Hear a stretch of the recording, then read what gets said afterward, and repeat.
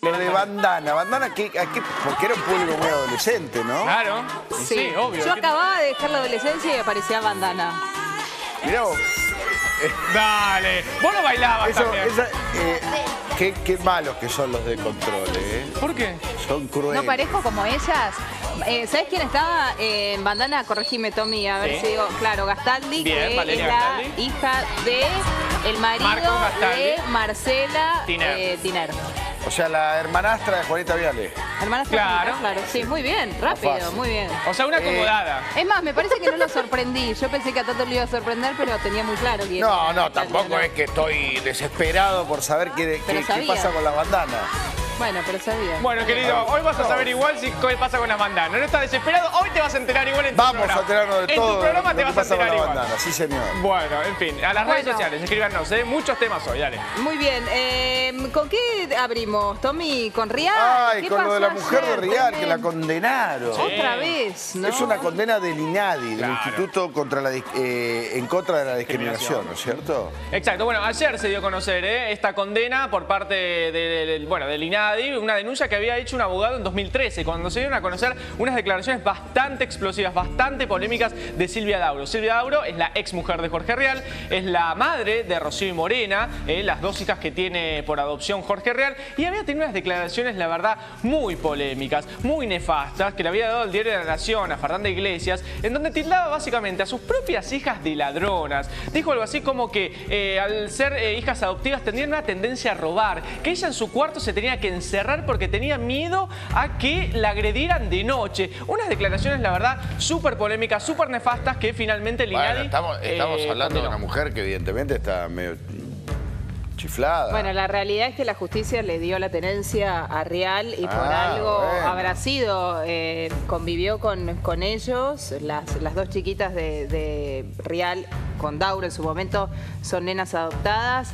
Real sufrió mucho este tema a través de los medios también, ¿no? En su momento había dicho que le daba vergüenza ajena, la verdad es que es como que conocimos, empezamos a conocer la faceta más humana de, de Real, después, bueno, conocimos todo lo que tiene que ver con los romances, pero primero me parece que el puntapié fue a través de abrir la ventana respecto de lo que pasaba puertas adentro de su casa con sus dos hijas. Sí, al principio se hablaba mucho obviamente de una mala relación entre Jorge Rial y Silvia Dauro, que fue el motivo obviamente de la separación. Luego, cuando fue pasando el tiempo, nos enteramos estas atrocidades, ¿no? Que real- realmente Dauro se llevaba pésimo con sus hijas, que fíjense, para que tengan las declaraciones que tuvo en el año 2013, evidentemente había una relación que no era muy buena, y es así como un día las chicas, las propias chicas, agarraron todo, ¿eh? el placar, se llevaron toda su ropa y fueron a la casa real y nunca más volvieron. ¿Y la Al- condena, la condena de quién es, Tommy? es del INADI, o sea que no, no, no es una condena de prisión, ni muchísimo menos, ni legal, porque la verdad que no va a seguir todo como si nada, digamos. Pero es una condena más, eh, a ver, eh, para la sociedad, por llamarlo así una- de alguna manera, ¿no? Porque Silvia Dauro va a seguir libre, no es una condena porque va a ir a prisión, pero bueno, es una condena eh, que da el INADI Que después de esta intenta denuncia. ser aleccionadora, digamos. Exacto, exacto. Ese sería el término. ¿Escuchamos, Tommy? Ayer habló Real. Sí, al respecto, ¿quieren escucharlo? Dale. Dale.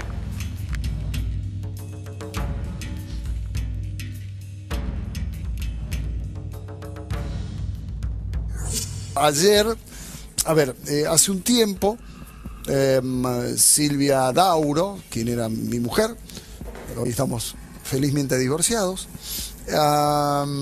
hizo unas declaraciones televisivas donde eh, no solo trataba a mis hijas de ladronas por ser adoptadas, en una traspolación extraña entre la dictadura, los desaparecidos y los bebés y los hijos adoptados. Una locura absoluta. Que no solo dañó a mis hijas, eh, fue mucho más allá y dañó a todos los hijos adoptados, dañó a todos los padres eh, adoptivos, incluso hizo un daño eh, importante a aquellos que tienen ganas de adoptar, que no es fácil. Repudio generalizado, pero una persona, Sánchez Calvermaten, eh, Alejandro Sánchez Calvermaten, que tomó la decisión él de iniciar por su lado una denuncia ante el INADI. Y la verdad se hace, es muy duro, son nueve páginas muy duras, muy duras. Eh, y lo importante de todo esto porque habla de, estereoti- de estereoti- est- estereotipo de persona, habla de todo, la verdad es muy duro. y al final, dice, por último, resulta importante destacar la gravedad del asunto, toda vez que la denunciada es una figura pública. ¿Por qué figura pública? Porque es conocido. Y madre de dos niñas que fueron adoptadas por ella y por quien fuera su marido al momento de la adopción. Y los comentarios fueron vertidos mientras hacía expresa referencia a sus hijas, agraviando no solo a personas adoptadas, sino a adoptantes y a personas que desean adoptar, sino también, y este párrafo es terrible, a sus propias hijas.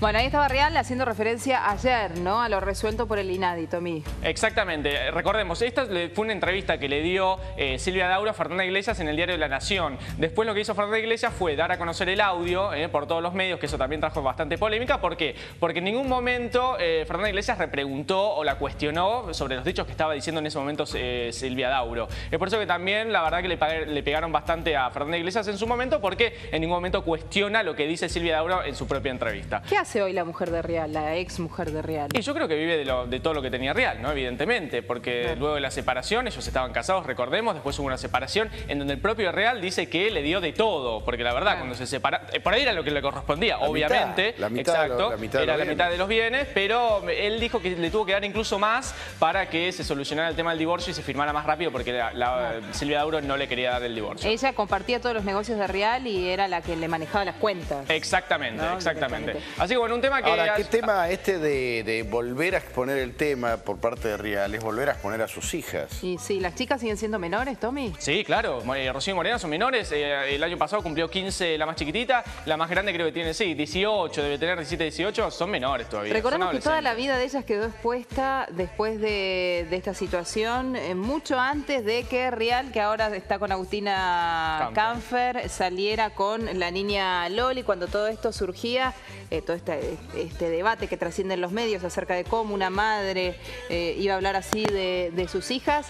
En ese momento las hijas decían, todavía me parece que ahí no estaba el divorcio, no había salido todavía el divorcio, y Real empezó como a dejar que todo esto trasluciera. Él decía como que era en cura de sus hijas y de todo lo que sus hijas estaban sufriendo, y las chicas mismas son las que decidieron irse a vivir con el padre. Exactamente. Porque al principio estaba como todo muy puesto en duda, bueno, un padre sale a cuestionar así, después el reportaje de Fernanda Iglesias, que fue polémico porque no le repreguntó. Porque no le pregunté porque lo publicó. Yo no, publicaría esa frase. Y publicó los audios incluso, ¿eh? porque obviamente se graban las entrevistas para el, para el diario y, ella mandó los audios a, todo, a todos los medios. Y ahí es como que todo el mundo tomó una postura, ¿no? Digamos, escucharla eh, a esta mujer hablando claro, así. Claro, pero me pregunto si está bien que Rial ahora le dé aire a esto, reflotando el caso, recordando el hecho, eh, volviendo a exponer a sus hijas. Me parece que está todo el mundo pensando en, en Rial y, y su ex mujer y nadie piensa en las dos hijas. Es que él me parece que ya trascendió esa barrera de intimidad, ¿eh? Me da la Está bien, la de él, la intimidad de él, que haga lo que quiera, pero, no, no es lo mismo. Pero él trascendió... La intimidad de las hijas es la intimidad de las hijas, no es la del padre. Está bien, estamos de acuerdo. Pero él, cuando fue la situación con, lo de las chicas y expuso absolutamente todo, él dejó de ser el... o sea, él se convirtió en un tipo mediático, absolutamente mediático. Y expuso a las chicas con eh, las fotos de, las parejas actuales, eh, a las parejas las dejaba hablar acerca de situaciones que pasaban internamente en la casa con las chicas. Se convirtió en, una persona que decidió abrir las puertas de la casa y, eh, con sus hijas inclusive. Eh, tal cual. Aparte, al margen de esto, obviamente, bueno, la vida real es súper pública, ya quien no, no la conoce, y era una, una denuncia que se formuló en 2003, 2013 perdón, y que finalmente ayer llegó a, su fin. Y está bueno por ahí, desde mi punto de vista, dar a conocer que finalmente él tenía razón y que Silvia Dauro, la verdad, entre comillas, era un monstruo con las hijas directamente. Así que bueno, eh, seguramente en un ratito nos estaremos tratando de comunicar con el abogado que hizo la denuncia, eh, que no conocía justamente a Jorge Real, pero en un ratito seguramente tengamos la comunicación. Sí, lo vamos a dejar para, para dentro de un rato, efectivamente. Vamos a meternos un poco con lo... Seguimos, Tommy, con el tema. No ¿eh? te vayas lejos. No te escapes, no te escapes. Me voy a dormir un ratito, ya vuelvo.